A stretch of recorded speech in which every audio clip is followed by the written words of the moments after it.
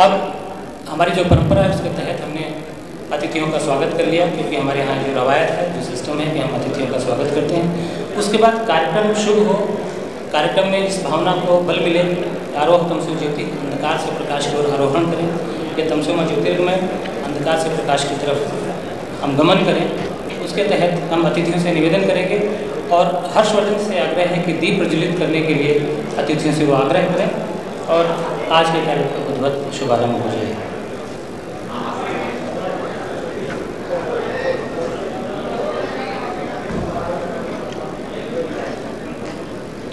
चूँकि थोड़ा सा कार्यक्रम विलंबित हुआ है, लिहाजा बहुत तमीद की ज़रूरत नहीं है, क्योंकि जो कार्यक्रम श्रृंखला के साथ आगे बढ़ने हैं तो आवाज़ से आगे बढ़ते जाएँ।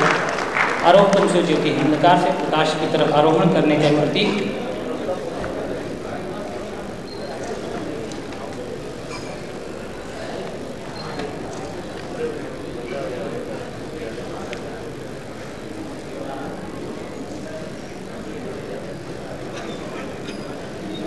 अतिथियों का आभार